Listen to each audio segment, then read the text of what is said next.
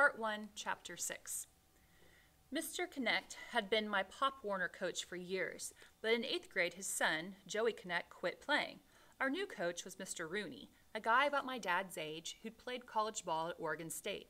I liked Mr. Connect okay, but I was excited when I heard we were getting a new coach. The first day, Rooney had us line up on the 50 yard line. He'd call a name, and then that guy would step forward and he'd ask a few questions. The typical stuff. Finally, it was my turn. Mick Johnson, he said. I stepped forward and gave a little wave. Here, I said. He looked down at his clipboard and then looked back at me. You're the old kid, right? The one who should be in high school? The one playing on an exemption? It was like being hit in the face. I was totally embarrassed, totally humiliated. Most of the guys on the team didn't know I was older, and the few who did had known for so long that it almost as it was if they didn't know. Rooney brought it back, and the way he said it made it seem as though I was a cheater. I started kindergarten a year late, I said. My dad thought, Are you Mike Johnson's kid, the guy who played for the Huskies? He said it as if it was something to be ashamed of. I nodded. All right, Johnson, you don't have to give me your life story, though I'm sure it's fascinating. What position do you play? Running back, he snorted. Figures. Practice was like every other first practice. We did a lot of simple drills, ran a bunch, and stretched a bunch. Only for me, it was different. Mr. Connect had always praised everything I did. I'd always been the one who demonstrated how something was supposed to be done. For Rooney, nothing I did was good enough. He wouldn't even call me by my name. I was Red to him. Pick it up, Red, he'd say, or pay attention, Red. I hated being called Red, and the more he did it, the more I hated him. After practice, my dad asked about the new coach. When I complained about him, my dad closed his eyes and scratched the top of his head. Rooney, Rooney, Rooney. I think I remember him. It seems to me there was some play where I ran over him and into the end zone. It ended up on Sports Center. My dad laughed. That's why the guy doesn't like you. He's still feeling the pain. Just ignore him. But I couldn't ignore him because he kept calling me Red, and every time he did, I could taste the anger. Always, in every camp and on every team, I'd been the hard worker, the guy who did everything by the book. But I wasn't that way with Rooney. He was disrespecting me, so that's what he got back. If he told us to get in a perfectly straight line for some drill, I made sure I had one foot sticking out six inches. If he told us to listen up, I always turned my shoulders to the side and looked off across the field. If he told us our break was over, I always took one more slug from my water bottle. Rooney would see and glower, but what could he do? I was his best running back. You can't bench your best running back for a little twitch of the mouth. There were two new kids on the team. One of them, Gerard Sampson, quit after the first day. The other was Drew Carney, a funny looking kid with big ears. Drew played quarterback, had great size and strength, and had a gun for an arm. The guy was a player, and from day one, Rooney loved him.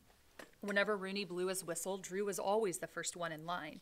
In every drill, Drew gave 110%. All through those early practice sessions, Rooney would single Drew out and tell the rest of us that we should try to be like him. One Friday, after I loafed during a blocking drill, Rooney pointed a stubby finger at me. You there, Red, I want you to pull the towel against Drew. The rest of you guys, form a circle and watch. I want you to see this. Pulling the towel was Rooney's favorite drill. It was basically tug of war, only it was one on one instead of in teams. But the watching part was different. Always before, we'd had our own partner, and we'd all be tugging and sweating simultaneously. Only you and your partner would know who won. Rooney had his face off at the 50 yard line. The object was simple pull the other guy completely over the line. I took hold of one end of the towel, Drew grabbed the other. I looked towards Rooney, but before I was ready, he blew his whistle. A split second later, I was lying face down in the dirt on Drew's side of the 50. The guys circled around, laughed. Rooney glared down. That wasn't fair, I said. I wasn't ready. You're never ready, Rooney barked. Go ahead, pick up the towel. Try again. I took my end of the towel and grabbed it as tightly as I could. I didn't look to Rooney this time. I kept my eyes on Drew. The whistle blew. I dug in my heels into the ground and pulled. My arms started aching. My legs started cramping. I tried to turn just a bit, but in that split second, something happened. Because for the second time, I was lying face first in front of Drew. And for the second time, everyone was laughing. You want to go a third time? Rooney said. I shook my head. I didn't think you would. You're Mike Johnson's son through and through. You're going to end up just like your father the talent of an all star, the attitude of a punk. I'd seen that smirk on your face for too long. I've seen it and I'm sick of it. I'm not having bad actors poisoning my team. So you think it over, Mr. All Star Mick Johnson. You want to play for me? Then you practice the way I want you to practice. If not, don't come back. Now go sit on the bleachers until the end of the practice. I went to the bleachers and sat, my hands clenched in fists, a lump in my throat. I wanted to hit Rooney for what he'd said and for what he'd done. It wasn't my fault he was a lousy linebacker. It wasn't my fault my dad had humiliated him on the field. Why was he taking it out on me? Finally, the whistle blew, ending practice. As I headed to the parking lot, my dad pulled in. I threw my duffel into the back of his Jeep Wrangler and climbed in. Bad day, he said. I'm quitting, I said. I hate Rooney. He pulled out of the lot. What happened?